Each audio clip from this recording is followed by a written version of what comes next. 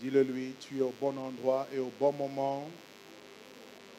Dis-lui, tu es la bonne personne que Dieu a choisie. Que Dieu a choisi et que Dieu veut utiliser. Je vous ai dit hier qu'à la fin de ce programme, euh, Dieu va oindre beaucoup de personnes. Euh, vraiment pour euh, la guérison. si vous êtes malade, les à Dieu, va vous guérir. Il va vraiment se glorifier. Et non seulement il va vous guérir, il va faire de vous une source de guérison. C'est-à-dire, au travers de vous, Dieu va commencer à vous utiliser pour aller guérir les autres, parce qu'il y a beaucoup qui sont malades, beaucoup qui sont en train de souffrir en ce moment. Amen. la volonté de Dieu, c'est que lorsque l'évangile est prêché avec euh, vie, esprit, puissance, que cette parole soit accompagnée par des signes, des miracles et des prodiges. Dieu appuie toujours sa parole par des signes le fait non pour donner gloire à un homme, il le fait pour glorifier sa parole et attester que Dieu est vrai et que sa parole est la vérité. En même temps, le diable, alors que Dieu travaille d'un côté, l'ennemi aussi, d'autre part, il essaie de travailler dans le but de pouvoir rendre nulle cette parole. Moi, j'aimerais vous dire qu'il a déjà échoué. Mhm. Il est vaincu d'avance, et tu peux le dire avec moi, le diable est un menteur. Dis-le lui et déclare-le lui qu'il le rappelle-lui. Dis-lui, le diable est un menteur. Je pensais que tu allais le dire à haute voix. Hein. Peut-être qu'il n'a pas bien entendu. Hein. Est-ce que tu peux le dire avec beaucoup plus de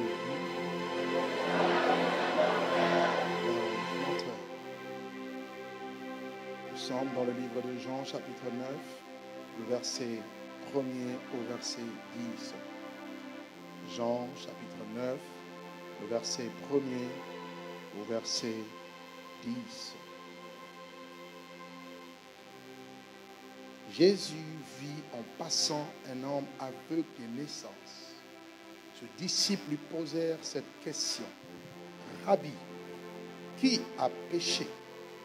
Cet homme ou ses parents pour qu'il soit né aveugle Jésus répondit, ce n'est pas que lui ou ses parents aient péché, mais c'est afin que les œuvres de Dieu soient manifestées en lui. Il faut que je fasse, tandis qu'il est jour, les œuvres de celui qui m'a envoyé. La nuit vient où personne ne peut travailler. Pendant que je suis dans le monde, je suis la lumière du monde.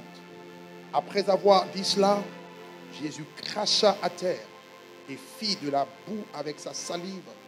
Et puis il appliqua cette boue sur les yeux de l'aveugle et lui dit, va et lave-toi au réservoir de Siloé, nom qui signifie envoyé.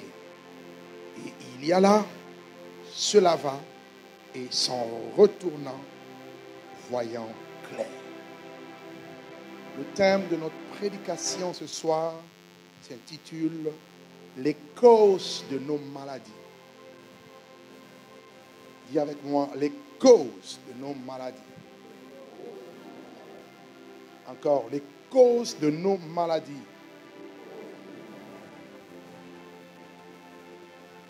On parle de cause, on voit euh, tout ce qui produit un effet. D'accord? Et quand on parle de la guérison, cela sous-entend qu'il y avait une maladie au préalable, ou il y a une maladie quelque part qui doit être guérie, soignée, restaurée, rétablie. Tu dois être rétabli à ta condition initiale. La guérison, c'est la restauration. La guérison, c'est le rétablissement. La guérison, c'est le relèvement. D'accord? C'est ça la guérison guérison, c'est te ramener dans, dans la condition où tout va bien. Or, la maladie vient pour ronger, pour détruire, pour nuire. Et notre texte, c'est dans le livre de Jean, chapitre 10, que nous connaissons, le verset 10, où il est dit Car le voleur ne vient que pour dérober, égorger et détruire. Moi, je suis venu afin que mes brebis aient la vie et qu'elle l'ait en abondance. Jean chapitre 10, verset 10. Nous avons vu hier sur l'importance, au fait, de l'épître, de, euh, l'évangile de Jean qui nous présente, au fait, Christ en tant que Dieu. On a essayé d'expliquer et on a montré à quel point euh, le but de Dieu dans cet évangile était d'emmener les hommes à croire que Christ était réellement le Fils de Dieu, que Christ était réellement Dieu et qu'en croyant en lui, que l'on reçoive la vie. Quand on parle de la vie, on voit la vie Zoé, qui est la vie de Dieu, cette vie qui est éternelle, et cette vie, lorsqu'elle est communiquée, lorsqu'elle est transmise, elle fait disparaître tout ce qui est mal, tout ce qui est maladie, tout ce qui est calamité, tout ce qui est problème, tout ce qui est souffrance. Elle vient pour restaurer, redonner la, vie, redynamiser, relever, ramener à l'état initial. Vous comprenez un peu? Et c'est ça le but de l'évangile de Jean. Il présente Jésus comme étant Dieu. Il y a de plus en plus de gens aujourd'hui qui, qui ne croient plus en la divinité de Jésus. Il y a de plus en plus de personnes aujourd'hui qui pensent que Jésus est, est, comme l'un des prophètes seulement. Non, plus qu'un prophète, Jésus est Dieu, il est fils de Dieu. Il n'est pas Dieu seulement quand il était au ciel. Au ciel, il était Dieu, mais quand il est venu sur la terre, il a continué dans la divinité. En effet, il y avait, la nature humaine qui travaillait, mais d'autre part aussi, il y avait la nature divine car en lui habitait corporellement toute la plénitude de la divinité. La Bible déclare qu'il plut à l'Éternel que toute plénitude habita en lui. D'autres encore disent que Jésus, en venant sur la terre, avait laissé sa divinité au ciel et il est venu comme un simple homme. C'est faux. Sur la terre, il a opéré en tant qu'homme, mais il a opéré aussi en tant que Dieu. Mais pour sauver le monde, il fallait qu'il puisse opérer en tant qu'homme. Parce que Dieu ne connaît pas de mort. Est-ce que vous comprenez? On a vu que tout ce que Dieu a créé était bon. Genèse, qui est le livre de commencement, nous parle au fait du plan parfait de Dieu depuis la Genèse, le commencement. Et c'est ce plan-là à quoi toi et moi avons été destinés. À vivre heureux, à être bien, à avoir une bonne santé. Excusez-moi, si vous n'avez pas la santé, tout ce que vous pouvez faire à côté n'a pas de sens. Il y a des gens aujourd'hui qui ont tout, qui ont peut-être beaucoup d'argent, des biens, tout ce que vous voulez, mais il leur manque la santé. Ces personnes ne, elles, ne, trouvent même pas la joie de vivre. Pourquoi? Parce que à quoi bon, à quoi me sert tout ce que je peux avoir si je n'ai pas la santé qui peut m'aider à me réjouir de tout ce que Dieu peut me donner? Donc la santé est primordiale avoir la santé est primordial. Voilà pourquoi Jean disait, je souhaite que tu sois prospère à tous égards et sois en bonne santé comme prospère l'état de ton âme. Donc Dieu crée. Tout ce que Dieu a créé était bon. La Bible dit, et voire même très bon. Il a créé le ciel, la terre, il a créé la faune, il a créé la flore, c'est-à-dire les animaux, il a créé toute la végétation, tout était beau. Et pour tout couronner, il crée l'homme en qui il dépose son esprit. Il le prend, il le place dans le jardin d'Éden. Un lieu magnifique. Et moi, Éden veut dire délice. Tout était beau, parfait. Mais d'où est venu la maladie?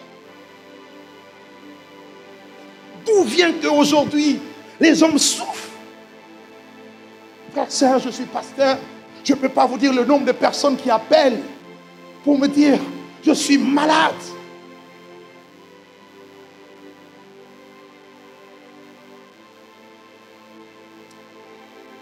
Avec moi, d'où sors-tu Satan? Fais comme ça, je suis en colère après lui. Fais, comme ça, d'où sors-tu Satan? D'où sors-tu? Aujourd'hui, je crois que je vais, je vais le chasser aujourd'hui. Aujourd'hui, je vais chasser Satan. Je vais chasser le diable aujourd'hui.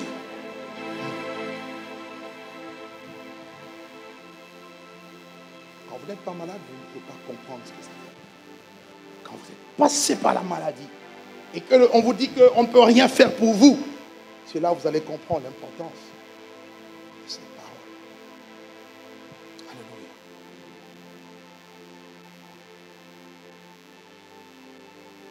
Genèse chapitre 2. Regardez. Allons-y doucement. Est-ce que vous m'accordez un peu de temps aujourd'hui? Votre amen n'est pas convaincant. Genèse chapitre 2, le verset 15 au verset 17. La Bible dit ceci.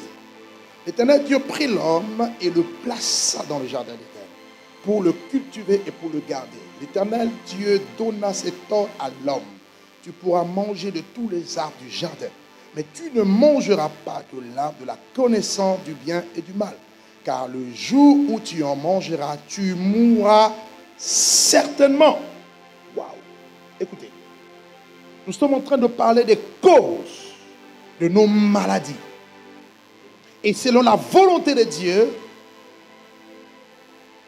Dieu ne veut pas que tu sois malade. Dieu ne veut pas que toi et moi soyons malades. Si tu es malade, sache que ce n'est pas la volonté de Dieu. Dieu peut permettre, pour plusieurs raisons que nous allons décrire, mais ce n'est pas sa volonté parfaite. Non, il veut que tu sois en bonne santé. Dieu prend l'homme, il le place dans le jardin et Dieu donne des instructions à l'homme en disant, tu pourras manger de tous les arbres, mais tu ne mangeras pas de l'arbre de la connaissance du bien et du mal. En fait, c'est là que viennent tous les problèmes que l'humanité connaît. Vous savez, quand quelqu'un crée quelque chose, c'est-à-dire la personne a la conception de la chose, la personne a le manuel d'utilisation de la chose, vous comprenez? Vous achetez un téléviseur, on va vous vendre un guide, c'est ça? On appelle ça guide, hein? Hein Comment? Mode d'emploi.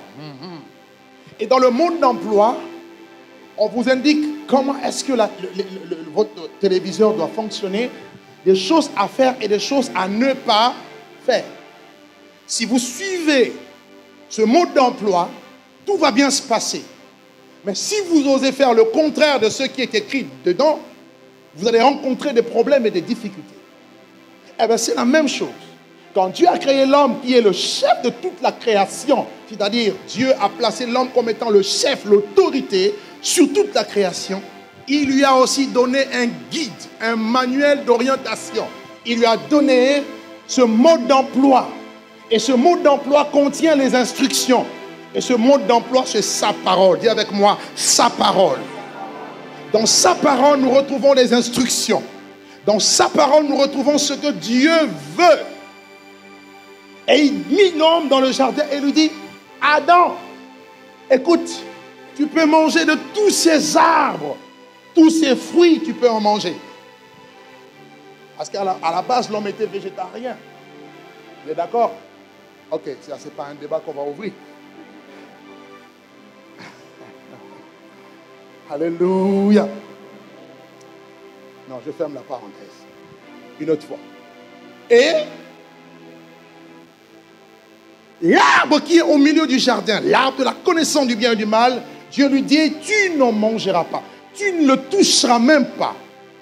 Pourquoi? De peur que tu ne. Avant même que la mort ne vienne, avant même que la maladie ne soit nommée, Dieu savait que toutes ces choses étaient cachées dans un arbre. Et c'est l'arbre de la connaissance. Et Dieu dit, tu ne mangeras pas. Dieu a donné des instructions claires, des ordres à respecter. Quelqu'un me suit Mais la Bible nous dit quoi? L'homme ne va pas respecter cela. L'homme va préférer désobéir à ce que Dieu avait donné comme ordre. L'homme va préférer ne pas suivre les, les instructions de Dieu. Il va suivre la voie de Satan, de Lucifer. Lorsque vous lisez Ézéchiel 28, Isaïe 14, on nous parle de cet être hideux qui était à la base glorieux, beau, parfait. Mais lorsque le péché est entré en lui, il a été précipité. Et il est devenu, de Lucifer qu'il était porteur de lumière, il est devenu le prince de ce monde de ténèbres, Satan, le voleur, le diable. Et écoutez-moi, lorsqu'il a été précipité, parce que le mal existait déjà sur la terre, il y avait déjà le péché dans le monde, Dieu avait caché ce mal dans un arbre qu'on appelle l'arbre de la connaissance du bien et du mal. C'est ce que la Bible appelle aussi le mystère de l'iniquité. Et il fallait que l'homme ne puisse pas toucher, encore moins manger. Mais le jour il a touché, le jour il a mangé, les choses ont changé. Alors, d'où viennent nos maladies? Nos maladies viennent du fait que notre Père a mangé. Regarde ton voisin, dis-lui, attention à ce que tu manges. Tu ne l'as pas bien dit encore. Regarde-lui encore. Dis-lui, attention à ce que tu manges. Je n'aurai pas le temps de toucher l'aspect diététique aujourd'hui parce que c'est biblique aussi. Mais le problème, c'est des fois nous sommes malades parce que nous mangeons mal. Ça, c'est juste une parenthèse. Qu'est-ce que tu manges? Qu'est-ce que tu bois? Tu ne bois jamais de l'eau. Tu manges déséquilibré. Tu ne fais que boire du coca matin, midi, soir. Et tu espères être en bonne santé?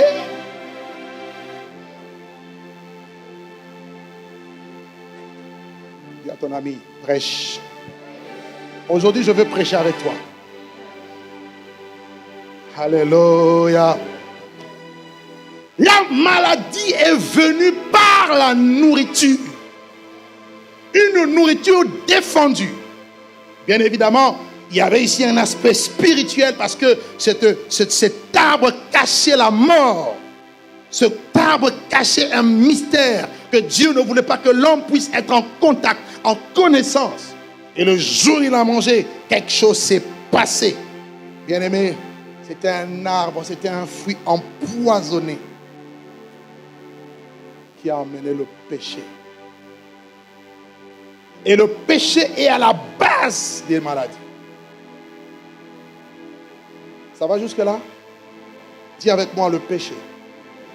Le péché, c'est la rébellion contre Dieu. Vous connaissez ces choses. Le péché, c'est faire sa propre volonté et non celle de Dieu. Le péché, c'est la transgression de la loi. Dieu donne une loi, Dieu donne une règle, et l'homme contredit, il pêche, et à partir de là, il va y avoir une ouverture dans le monde spirituel. Et quand la Bible parle du péché, notez deux choses dans le péché. La première chose, le péché est d'abord un état. Le péché est un état ce que la Bible appelle le péché originel. C'est un état dans lequel le monde, l'humanité entière a été introduite. Par un seul homme, le péché est entré dans le monde. Par le péché, la mort. C'est ainsi que la mort s'est étendue sur tous les hommes parce que tous ont péché. À partir du péché d'Adam et Ève, le péché est devenu un état. Voilà pourquoi lorsque nous naissons, nous naissons dans ce monde comme étant des pécheurs. Pas parce qu'on a commis des actes de péché, mais parce qu'on a en nous la nature du péché. Le péché en tant qu'état. Le péché originel. Amen. Plusieurs fois, j'ai rencontré des gens qui ont dit, mais pasteur, comment ça se fait que tel enfant peut naître avec une malformation? Tel enfant peut naître avec une maladie Qu'est-ce que l'enfant a fait? Non, ce n'est pas que l'enfant ait fait quelque chose. C'est que la nature a été tellement corrompue par le péché que ce péché est dans nos gènes.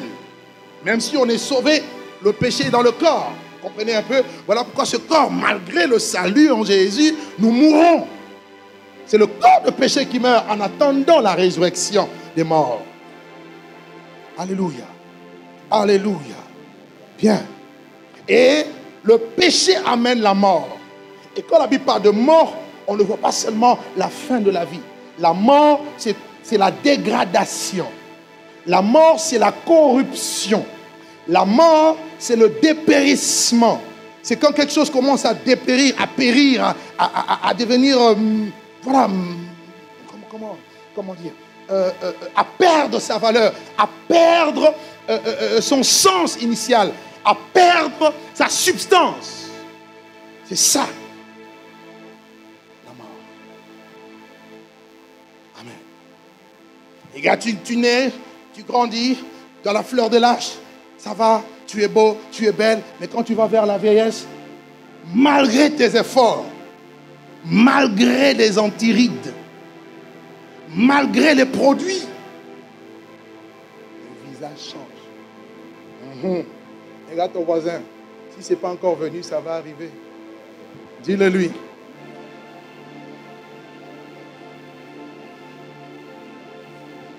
Là, je m'adresse aux jeunes. Parce qu'elles croient que tout est permis. Hein. Oh, je suis belle. Je suis jolie. Mhm. Je te donne 30 ans. Rendez-vous dans 40 ans. Dis avec moi, rendez-vous dans 40 ans. Ah ben oui, lui je l'ai connu, il n'était pas comme ça. Même si, euh, gloire à Dieu, alléluia. C'est ça la mort. Nous allons vers la mort. Nous allons vers la corruption. Pourquoi? À cause d'un acte de notre père Adam et Ève. Il y a eu la nature du péché, l'état du péché qui a affecté la créature, la création tout entière. Voilà pourquoi tout va vers la corruption. Ça, c'est le péché. Deuxième forme de péché, le péché est un acte. Un bébé qui naît au monde ne commet pas d'acte de péché, mais les pécheurs passent par essence, par sa nature. Par la suite, vous avez des actes que nous posons, des mauvaises actions. Comprenez? L'iniquité, le mal qu'on peut commettre. Ça aussi, c'est le péché qui a pour conséquence la mort. Le salaire du péché, Romains 6 nous dit, c'est la mort. Et le péché est grave. Le péché est l'œuvre manifestée du diable pour détruire tout ce qui est en toi. Le péché est tellement grave que le péché amène des maladies. Il y a des maladies qui viennent du péché. D'ailleurs, du reste, toutes les maladies viennent du péché. Alléluia. Et le péché a un autre fait négatif, c'est qu'il donne accès au diable.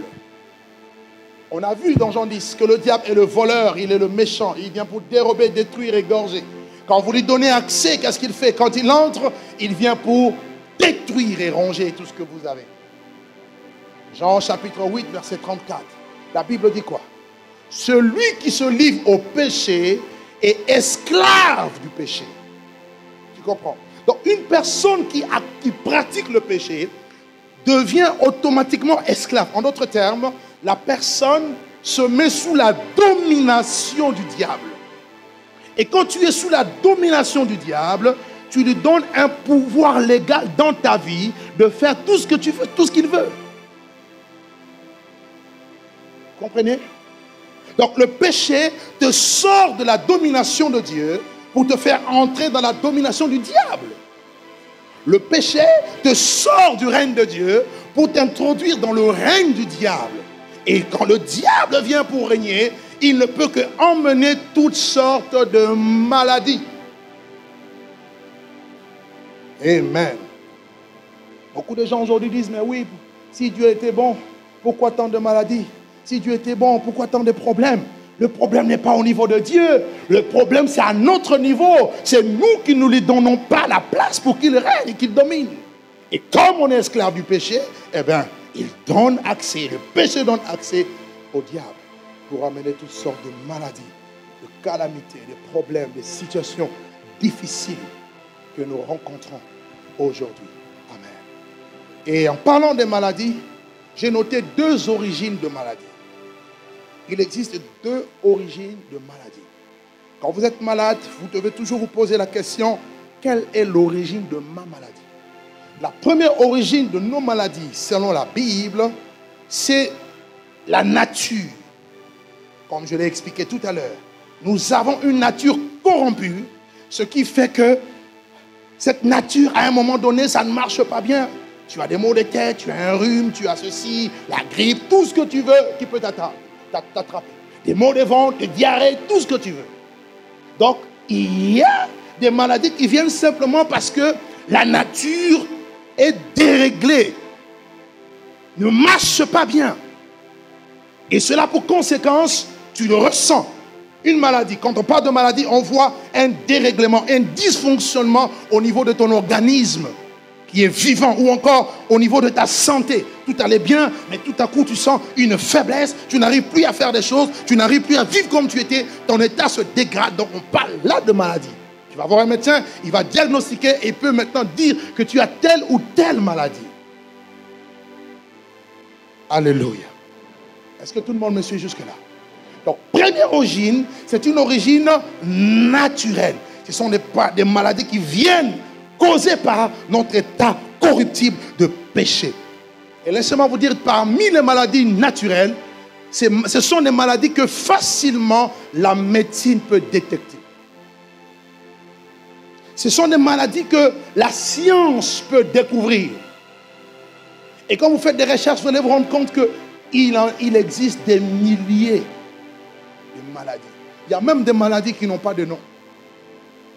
Et chaque jour qui passe, on découvre des maladies dans, un, dans une partie du globe. Il y en a tellement.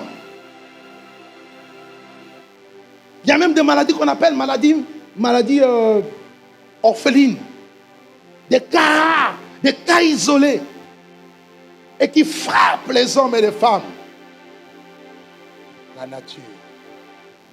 Deuxième sorte de maladie. Deuxième origine de maladie. Vous avez des maladies spirituelles. Et les maladies spirituelles, comme le mot le dit, spirituel, tout ce qui est spirituel est invisible. C'est-à-dire dont on ne connaît pas l'origine. Tu te lèves, tu as, des douleurs, tu as mal, mal au dos, mal là, mal ici. Tu vas voir le médecin, il dit, mais madame, monsieur, je ne comprends rien, je ne vois rien. Passe le scanner. Tu passes le scanner, rien. Va faire l'IRM. Tu vas faire l'IRM, rien. Maladie spirituelle. Beaucoup de gens sont concernés par des maladies spirituelles. Des maladies d'origine démoniaque, satanique. Des maladies qui viennent aussi par des envoûtements démoniaques. Il y a quelques années, je priais pour une femme qui, avait le sida. Et en fait, pendant qu'on priait pour elle, le Saint-Esprit nous a révélé que l'origine de sa maladie n'était pas naturelle. Elle n'avait jamais trompé son mari. Elle s'était mariée, tout était correct, elle était en bonne santé. Et dans le mariage, parce qu'elle avait des combats par la sorcellerie, on lui a injecté une maladie mystique. Frères, sœurs, pour vous qui ne croyez pas, les maladies mystiques existent. Il y a des maladies qu'on peut vous, qu'on peut, qu'on peut lancer contre vous mystiquement nuire à votre vie, nuire à votre santé. Ça existe. Elle ne savait pas. Et nous avons prié au nom de Jésus. Et la puissance de Dieu s'était manifestée. Elle avait beaucoup vomi, je me rappelle. Et après, après la prière, elle est partie voir le médecin. Le médecin lui dit, mais tu n'es plus malade. On n'a pas donné de médicaments. La puissance de Dieu est descendue dans sa vie. Alléluia. Quelle est l'origine de la maladie que tu portes? Est-ce que c'est une maladie qu'on arrive à déceler ou pas? Est-ce que le médecin arrive à, situer d'où vient le problème? Si tel n'est pas le cas, sache qu'il y a une autre origine. C'est une origine spirituelle. Combien de femmes que j'ai rencontrées, elles vont te dire, pasteur, je suis mariée, je, je tombe enceinte, mais au bout d'un moment, il n'y a plus rien. Quand je vais à l'échographie, on ne voit rien. Le ventre gonfle, mais dedans, il n'y a rien. Maladie spirituelle.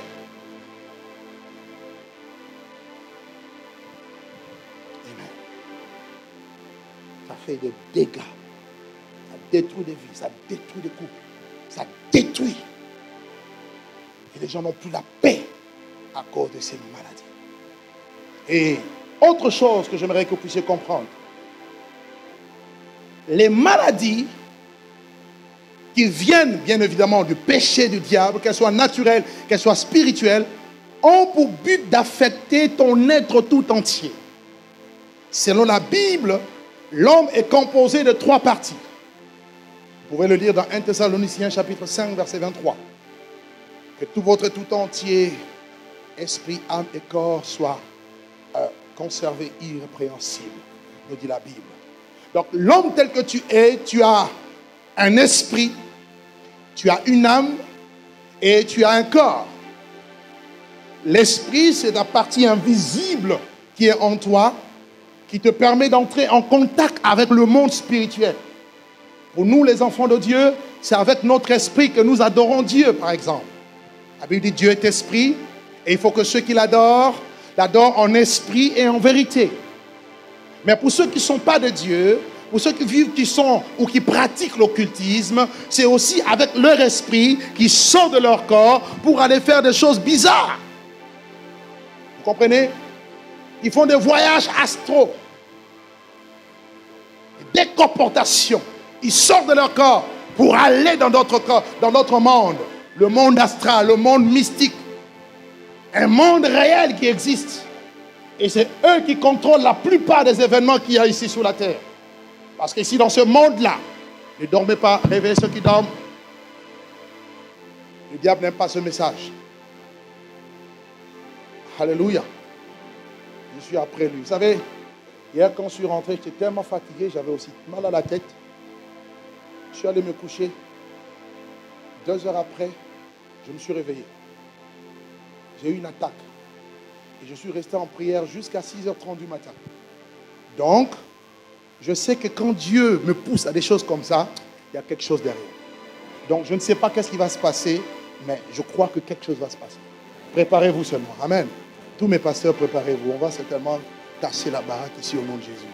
Et s'il y a un petit démon là qui te... Aujourd'hui, il est mal barré parce que la puissance de Dieu va descendre pour te rendre libre au nom de Jésus. Amen. Reste calme comme ça, écoute bien,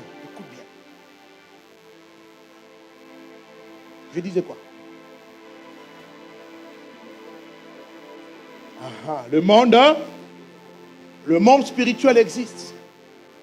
Les sorciers existent. Les occultistes existent. Et eux, sont à la base de beaucoup d'activités démoniaques. Ils peuvent vous envoyer des choses, des flèches, des, esprits d'assouplissement. Ils peuvent nuire à votre santé, nuire à votre mariage, à votre ménage, nuire même à l'église, à vos affaires, tout ce que vous possédez. Ce monde-là existe. Vous comprenez? Amen. Et il y a aussi des maladies spirituelles qu'il faut régler. Demain, plaise à Dieu, je parlerai sur les dons de guérison. Parler de l'onction, comment est-ce que l'onction travaille dans le don de guérison. Le message que Dieu m'a donné pour demain. Alléluia. Ok, toi-même tu comprends déjà quoi. Hein? Alléluia. Oh, j'aime Dieu. Dis à viens avec moi, j'aime Dieu. Wonderful Jesus. Et il y a des, esprits qui travaillent pour amener des maladies spirituelles. Et dans les maladies spirituelles, vous avez des gens, par exemple, quand vous dormez, chaque fois, vous, vous avez des visites des maris de nuit, des femmes de nuit. Ils viennent pour vous donner des maladies spirituelles. Lorsque vous êtes attaqué par des serpents qui viennent vous piquer, ils vous communiquent des maladies. Quelqu'un m'a dit il a été mordu par une bête la nuit et il s'est réveillé, sa main était enflée. Il dit, tu as besoin de la délivrance. Maladie spirituelle. Tu peux ne pas voir les effets tout de suite, mais après, un certain temps, tu vas commencer à développer des maladies, développer des choses que tu ne comprends pas. Les maladies spirituelles qui affectent l'esprit. Et là, il, il y a besoin de la guérison, de la délivrance. Lorsque nous faisons la délivrance, nous faisons la guérison spirituelle. Délivrer, chasser un démon, c'est amener la puissance de Dieu pour rendre libre celui qui était captif d'un esprit mauvais, d'un esprit démoniaque. Des esprits de sorcellerie, des esprits d'envoûtement. Amen. Deuxième forme de, maladie. Vous avez des maladies qui touchent l'âme. Et dans l'église, on retrouve beaucoup de ces malades. Des gens qui sont là, peut-être en, physiquement, elles sont en bonne santé, mais au niveau de l'âme, elles sont malades. L'âme a été endommagée. Amen. L'âme, c'est le ciel de tes émotions, de ta volonté. C'est avec ton âme que tu décides, tu prends des décisions. C'est avec ton âme que tu aimes. C'est avec ton âme que tu, prends des mesures, tu prends des décisions. Et il y a des maladies qui viennent pour affecter l'âme des hommes. Vous voulez connaître quelques maladies de l'âme? Le rejet. Quand tu es là, tu te sens toujours rejeté. Tu es malade. Quand tu es là, tu n'as jamais confiance en toi ou confiance aux autres. Tu es malade. C'est-à-dire la maladie, c'est au niveau de ton âme. Il y a besoin de la guérison. Lorsque tu es jaloux, tu es malade. La jalousie est une maladie grave. Et c'est ce qu'on retrouve aujourd'hui dans notre monde. Tout le monde, enfin, beaucoup de gens sont jaloux. Au point où, pour vivre mieux, tout le monde veut être caché. Pourquoi? Parce que les gens sont jaloux. Même à l'église, ah, quand même. C'est pour ça, l'église, vous devez être guéri au nom de Jésus. Quelqu'un achète une nouvelle voiture, non, il est rentré dans les loges. Donc, il n'y a que dans les loges qu'on achète des nouvelles voitures. Donne-moi un bon amen. Hein. Quelqu'un arrive à avoir un peu, un peu d'argent pour faire des affaires ou comment, et elle commence à bien s'habiller, tu seras le premier à pouvoir critiquer. Pourquoi elle s'habille? Elle veut montrer quoi? Toujours bien habillée, bien coiffée, bien, bien maquillée. Qu'est-ce que tu veux montrer? Il y a un problème de maladie. Des gens qui sont en église, qui ne disent jamais bonjour aux gens, qui narguent tout le monde. Tu es malade. Ou des gens qui veulent être vus. Quand on ne le voit pas, quand on ne le met pas devant, il est mal. Des victimes à vie, des blessés à vie. Ça, c'est dans l'église. Des malades qui refusent la guérison. Tu veux le corriger un peu? Je suis blessé. Arrête ta comédie. Moi, si on me blesse trop, je vais partir. Je pars. Il n'y a pas l'amour. Mais donne l'amour.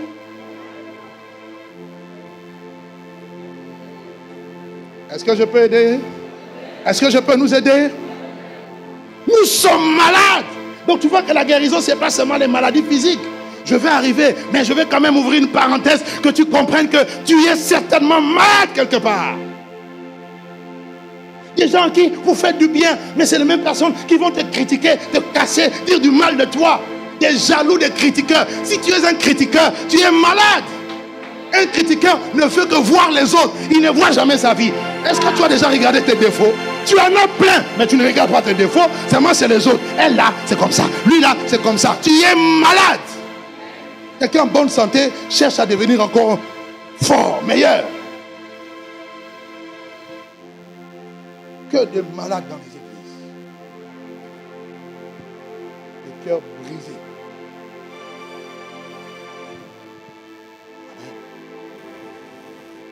Et là, il n'y a, pas besoin de, a pas besoin de paracétamol. Pas besoin de doliprane. Aucun médecin peut guérir ton cœur. Tu m'entends? Aucun. D'ailleurs, même les médecins eux-mêmes, ils ont des blessures de cœur. Quand sa femme l'a abandonné, je veux me suicider. Il est malade. Quand quelqu'un pense au suicide, c'est qu'il est malade. Comment toi, un homme sensé, tu vas te suicider parce qu'une femme t'a quitté Parce qu'un homme t'a quitté. Je veux me suicider. Je veux Mais va te suicider. Tu vas en enfer sans escale. C'est la vérité. Ah, vraiment, vraiment, je ne peux pas vivre seul. Je ne peux pas vivre seul. Tu penses vraiment? Quand tu étais né, tu étais avec lui le jour il meurt, tu vas rester célibataire, j'espère que tu vas te remarier. Arrête ton cinéma, arrête ta comédie.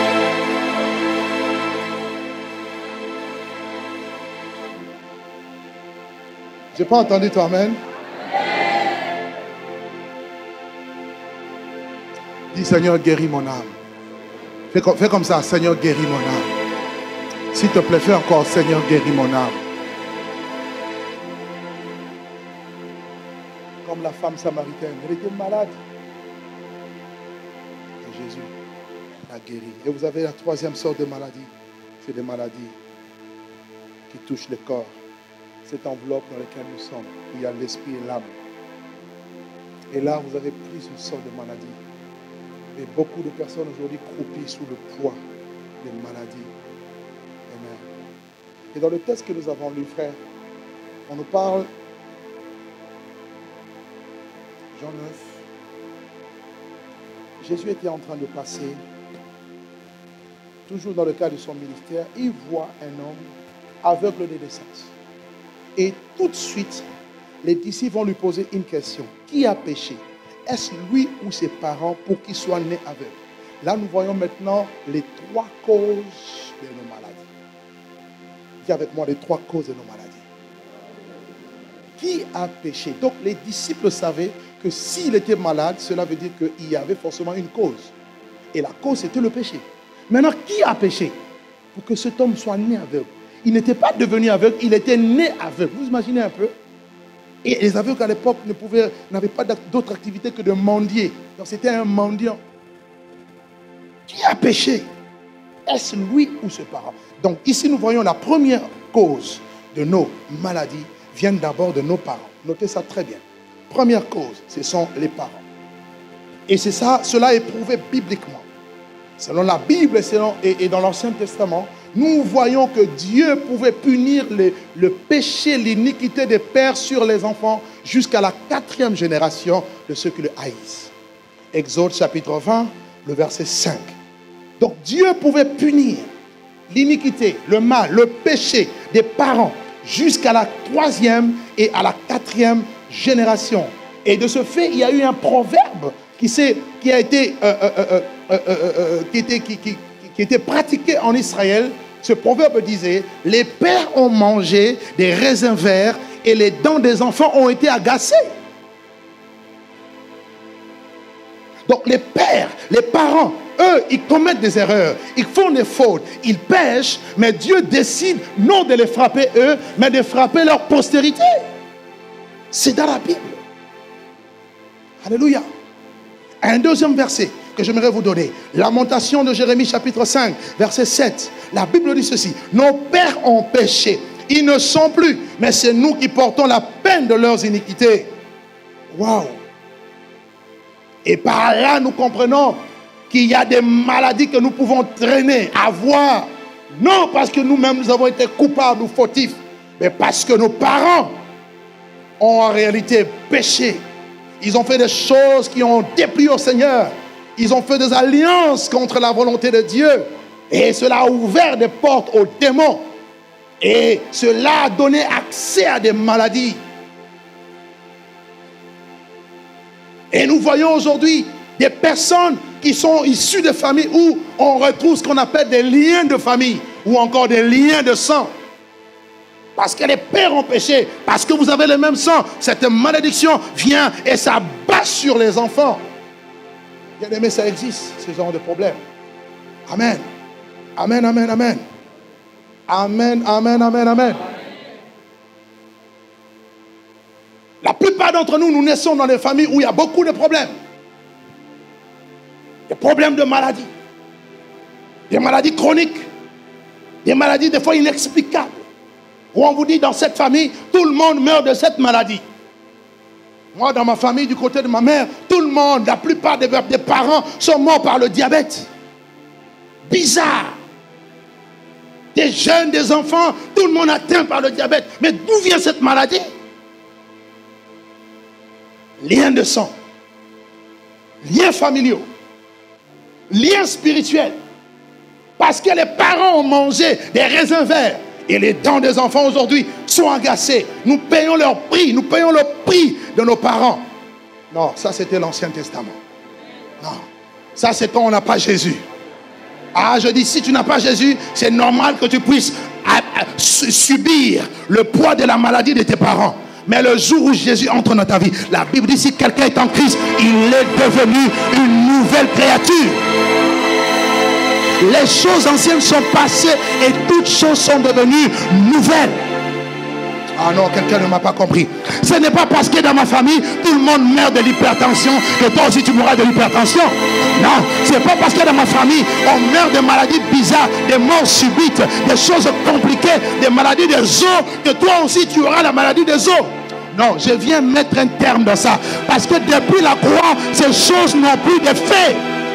Ah, il n'y a plus de condamnation pour tous ceux qui sont en Jésus, qui marchent non plus selon la chair, mais selon l'Esprit de Dieu. Car la loi de l'Esprit de vie en Jésus m'a libéré, m'a affranchi de la loi du péché et de la mort.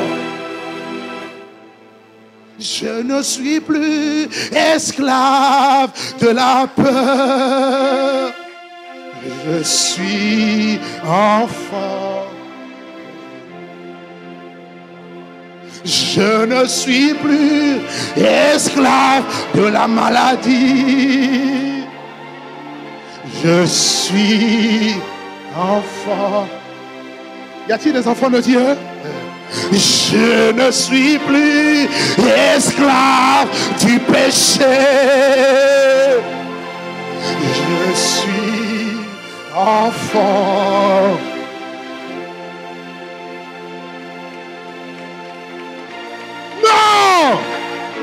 Non je suis venu t'annoncer la bonne nouvelle. Qui a péché Et ses parents. Même si mon père a péché, même si ma mère a péché, cela ne va pas m'atteindre.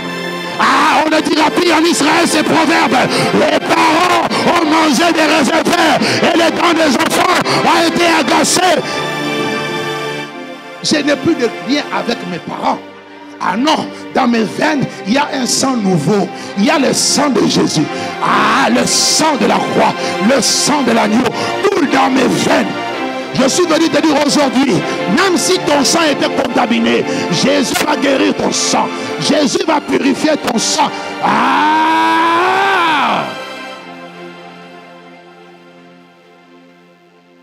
Il n'y aura plus de maladie. Je suis venu te dire, il n'y aura plus. Aujourd'hui, j'abats la forteresse là qui était là. Si tu pensais à ça, le diable pouvait s'accrocher à, à, ses pensées pour t'affliger une maladie. Non.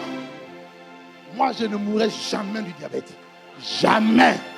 Ah, je te dis jamais. Tu m'entends? Tu sais la maladie qui est dans ta famille Ça fait peur à tout le monde. Dans la famille d'Abraham, il y avait aussi des maladies. La stérilité. Maman Sarah, stérile. Rebecca, stérile. Rachel, je suis venu mettre un terme à ce lien de stérilité.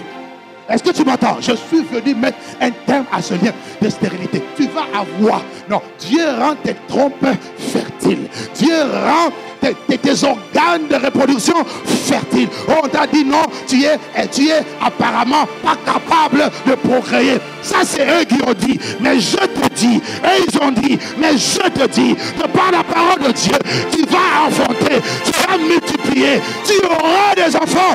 Je te le déclare. La preuve que ce que je dis est vrai, tu vas commencer par des jumeaux. Ah, je n'ai pas entendu l'amen de quelqu'un. Ah, Est-ce que quelqu'un peut me donner un bon amen? J'ai dit, tu vas commencer par...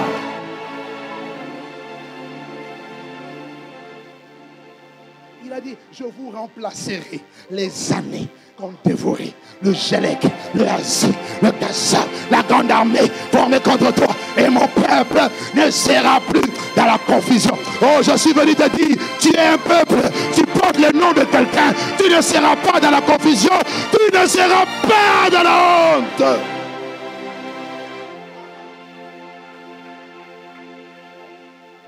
Amen, amen, amen, amen, amen, amen, amen, amen. Quoi cette maladie Qui a péché? Mes parents? C'est leur problème. Deuxième cause. Est-ce lui-même?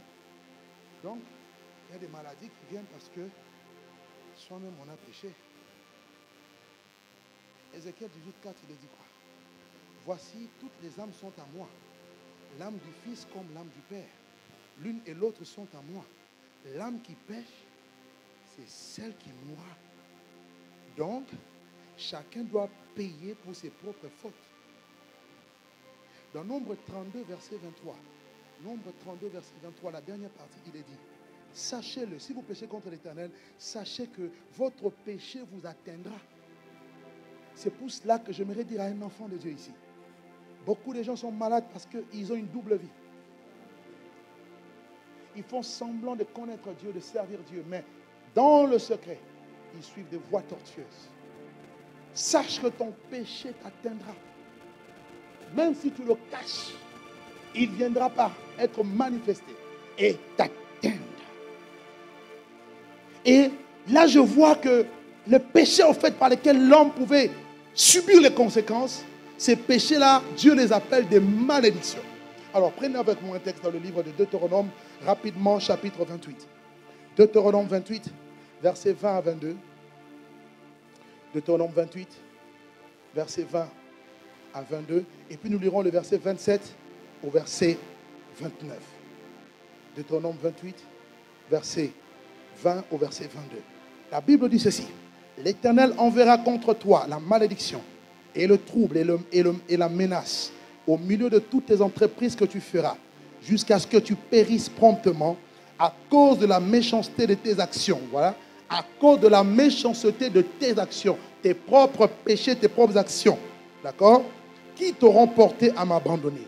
L'Éternel attachera à toi la peste. Donc Dieu envoie la peste jusqu'à ce qu'elle te consume dans le pays que tu vas prendre, euh, que, tu vas entrer en possession. L'Éternel te frappera de langueur, de fièvre, d'inflammation, de chaleur brûlante, de dessèchement, de jaunisse et de gangrène qui te poursuivront jusqu'à ce que tu périsses. Waouh! Donc quand tu te révoltes contre Dieu, Dieu lui-même permet la maladie, la maladie pour qu'elle te consume. Il y a des gens, ils sont malades parce que c'est la punition de Dieu pour les emmener à la repentance. Et le verset 27 nous dit ceci. Le verset 27 à 29, il est dit, l'Éternel te frappera d'ulcères d'Égypte, d'hémorroïdes, waouh, de gales, de teignes, dont tu ne pourras guérir. L'Éternel te frappera des délires, d'aveuglement, d'égarements d'esprit, et tu tâtonneras en plein midi comme l'aveugle dans l'obscurité. Voyez cet aveugle? Comme l'aveugle dans l'obscurité. C'est pourquoi ils ont posé la question, qui a péché? Est-ce lui? Parce que s'il avait commis des péchés, il aurait comme conséquence l'aveuglement, la cécité. Et tu n'auras point de succès dans tes entreprises. Et tu seras tous les jours opprimé, dépouillé. Il n'y aura personne pour venir à ton secours. Amen. Frères, sœurs, tes actes, ce qu'un homme aura semé, il le moissonnera aussi. Quels sont les actes que tu poses? Il y en a qui posent des actes et qui pensent que Dieu va rester indifférent. Un bon matin, tu te lèves, tu vas commettre l'adultère, commettre la fornication, et te voilà attraper les MST. Dis avec moi MST. Moi, je, dis MST au carré. Tu sais pourquoi? Je vais expliquer. MST, les maladies spirituellement transmissibles. Celui qui s'attache à la prostituée devient une seule chair avec. Si elle était sorcière, tu attrapes les esprits de sorcellerie, des serpents. Et puis, ça, je ne comprends pas. Il y a des choses qui marchent dans mon ventre. Qu'est-ce que tu as fait? Ah, je, sens, je sens un serpent qui marche dans mon dos. Qu'est-ce que tu as fait? Il y a des maladies spirituellement transmissibles. Lorsque tu couches avec un homme, tu couches avec une femme, tu ouvres des voies aux démons. Ils vont amener des maladies. D'abord spirituelles, des maris de nuit, des femmes de nuit, des envies bizarres. Tu ne comprends plus. Tu as toujours envie de, de tromper ta femme, toujours envie de tromper ton mari. Parce que tu as ouvert la voie aux maladies spirituellement transmissibles. Mais il y a aussi des maladies sexuellement transmissibles. Les MST. Oh Seigneur, pourquoi tu m'as laissé pendant ce péché? Il fallait que tu me protèges.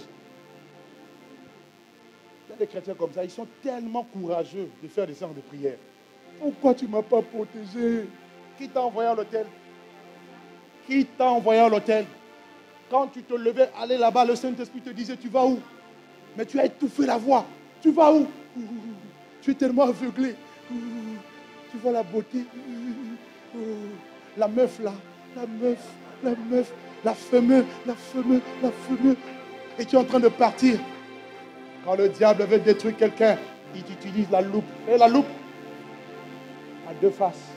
Une face, ça rétrécit. Une autre face, ça agrandit. Quand tu veux commettre le péché, ça te rétrécit le péché. Tu oublies même aux conséquences. Tu oublies même les conséquences. Tu oublies même qu'on peut t'attraper, qu'on peut te voir. Tu es tellement embrasé, la convoitise, tu brûles. Oh, je ne peux plus me contenir. C'est trop, j'ai chaud, j'ai chaud, j'ai chaud. Il faut, il faut. Tu pars. Maintenant, après avoir commis l'acte, on te dit, mais tu sais, tu as été filmé. Hein. Ah bon? Tu sais, euh, euh, on t'a vu. Hein. Ah bon? Et puis là, le diable retourne la, la face de la loupe. Il grossit maintenant. Et là, maintenant, tout de suite, Facebook. Oh, les réseaux sociaux. Oh, oh, oh. Les réseaux sociaux. C'est le monde entier qui va voir. Qui va voir ce que tu as fait. Dieu, tu m'as abandonné. Pourquoi tu ne m'as pas empêché? Il fallait, il fallait me cacher. Cache-moi, protège-moi. Il cache le péché.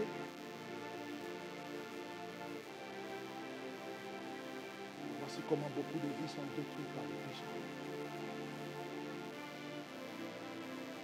J'ai vu des gens attraper des maladies parce qu'ils ont commis le péché. Est-ce que vous savez que même le manque de pardon est un péché? Ça amène beaucoup de maladies dans la vie des hommes. Qui a péché? Est-ce que cet homme? J'ai quand même une bonne nouvelle, même si tu as péché. La Bible dit, si nous confessons nos péchés, il est fidèle et juste pour nous les pardonner et pour nous purifier de toute iniquité. Oh, si tu as péché, même si ça a amené la honte, sache qu'il y a un espoir. Jésus a dit à cette femme adultère, c'est vrai, tu as péché.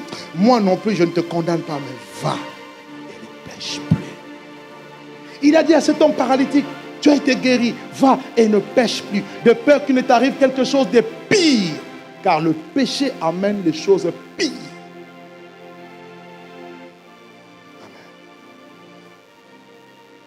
Ce n'était pas non plus la bonne réponse. La troisième cause, et je vais finir là, Jésus dit, c'est afin que les œuvres de Dieu soient manifestées. Dis avec moi les œuvres de Dieu soit manifesté. Là, j'ai été troublé. Je me suis dit, quoi? Dieu va permettre que tu tombes malade Pas parce que tu as péché, pas parce que tes parents ont péché, mais parce qu'il veut seulement se glorifier. J'ai dit, mais Seigneur, ça c'est injuste. Comment tu peux permettre que je reste dans une maladie seulement pour ta gloire? C'est là que Dieu m'a fait comprendre que, au fait, ta propre vie est pour sa gloire. Tout ce que tu es et tout ce que tu peux avoir, c'est pour sa gloire. Si tu n'as pas péché, si tes parents n'ont pas péché, et que tu te retrouves malade, parce que tout le monde n'est pas malade parce qu'il a péché. Il y a des gens qui sont malades, pas parce qu'ils ont péché, mais parce qu'ils ne comprennent même pas. Et je suis venu t'annoncer la bonne nouvelle. Si tu ne comprends pas pourquoi tu es malade, sache que Dieu cache derrière cette maladie un grand témoignage. Non, tu ne m'as pas bien compris. Je connais dans la Bible un homme qui était intègre, il s'appelait Job. Il n'avait rien fait de mal, mais Dieu un jour a fait une conversation téléphonique avec Lucifer. Il a dit, as-tu vu mon serviteur Job? As-tu remarqué mon serviteur Job? Il n'y a personne d'intègre sur la terre comme lui. Il dit, non, il intègre. C'est parce que tu l'as béni. C'est parce que tu lui as donné tout ce qu'il faut. Tu lui as donné une femme. Tu lui as donné des enfants. Tu lui as donné des richesses. Tu lui as donné la santé. Je suis sûr, si tu retires ta main, il va te maudire en face. Il dit non, non, non, non, je connais Job. Donc Dieu est en train de taper la poitrine sur toi. Non, quelqu'un ne m'a pas compris. Quand je te regarde, il est en train de taper la poitrine. Non, non, non, non. Tout le monde peut m'abandonner, mais celle-là, non. Maintenant, il y a un combat spirituel. Le diable maintenant dit à Dieu, écoute, donne-moi seulement la permission de le frapper, de le toucher. On verra. Je dis, ok, tu peux toucher à tout, mais sauf à sa vie. C'est pourquoi tu vois que des fois tu es malade, mais tu ne meurs pas. Quand la mort veut t'attraper, Dieu te... Oh, non, non, non, non, quelqu'un ne m'a pas compris. Dieu est toujours pour te protéger. En réalité, c'est un combat. En réalité, c'est une conversation entre Dieu et le monde démoniaque. Et je suis venu parler à quelqu'un. Et Dieu a donné la permission. Vous savez, rien ne peut arriver dans ce monde sans l'autorisation suprême de Dieu qui donne le cachet. En d'autres termes, même le diable est coincé dans la parole de Dieu. C'est-à-dire, il ne peut rien faire en dehors de la permission. C'est-à-dire, quand pour toucher Job, il fallait qu'il ait la permission de Dieu afin de le toucher. Dieu a dit, touche-le, mais ne touche pas sa vie.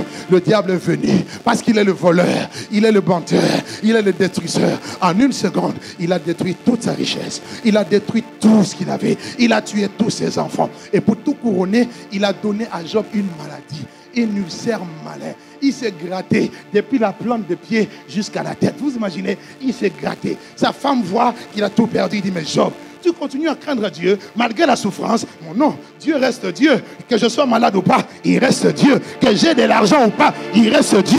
Il n'est pas mon Dieu parce que je suis guéri. Même quand je ne suis pas guéri, il est. Oh, je suis venu te dire une chose. Il reste Dieu. Rien ne peut l'ébranler. Ce n'est pas ta maladie qui va l'ébranler. Ce n'est pas ta situation qui va l'ébranler. Il est assis sur le trône et il contrôle. Mais laisse-moi te dire, encore un peu de temps, la situation va changer. Est-ce que quelqu'un m'entend? Est-ce que quelqu'un m'entend? Je dis à la femme, tu agis en femme insensée. L'éternel a donné, l'éternel a repris. Que le nom de l'éternel soit béni. Et la Bible dit en toutes ces choses, Job ne pécha point. Ne laisse pas le péché entrer dans ton corps, le péché entrer dans ta vie à cause de péché, à cause d'une maladie. Même si tu n'as pas la guérison, bénis Dieu parce que tu ne sais pas les témoignages que Dieu réserve. Ah! Job était là. Il ne comprenait pas les choses qui lui arrivaient. Même ses amis sont venus l'accuser. Tout le monde est venu dire ce n'est pas normal. Vous savez, tout le monde est là pour, pour mettre des commentaires. Donc, mon frère, ne mets pas de commentaires sur ma vie. Tu ne connais pas ma vie. Tu n'es pas mon créateur. Tu n'es pas non plus mon restaurateur. Et un jour, Job a dit, puisque vous parlez trop, j'aimerais vous dire une chose. Je sais, je sais, je sais que mon rédempteur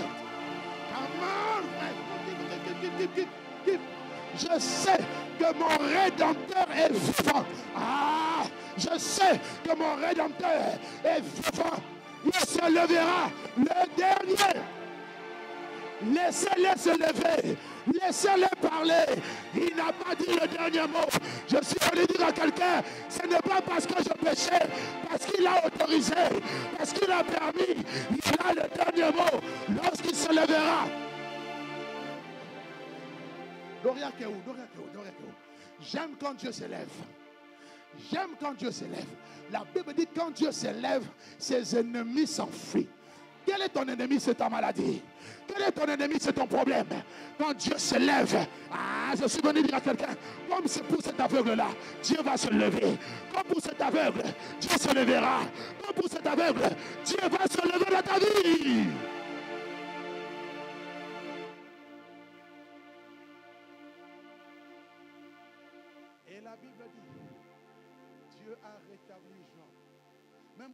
Comprenait plus, je reconnais que tu peux tout. Et que rien ne s'oppose à ta volonté.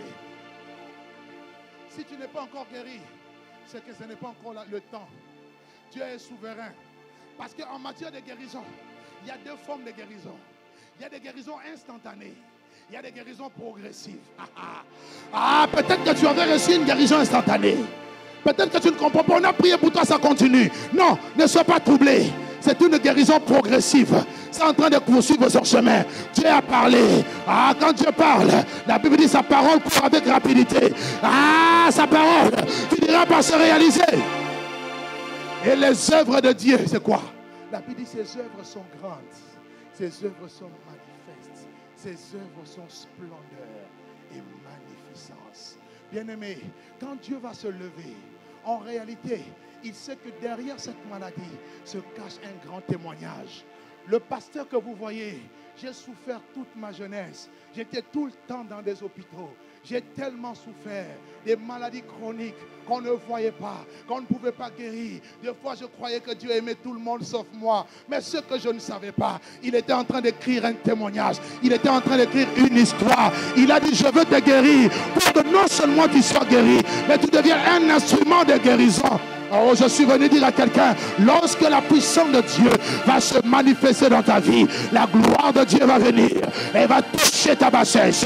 La puissance de Dieu va se manifester et va toucher ton corps, et va toucher le malade, il va toucher la partie qui ne va pas bien et Dieu va les guérir. Non seulement il va te guérir, il va faire de toi une source de guérison. Je parle à une femme, je parle à un homme, je te dis de la part de Dieu, tu seras un sujet de témoignage. Plus, plus c'est dur, plus le témoignage sera grand.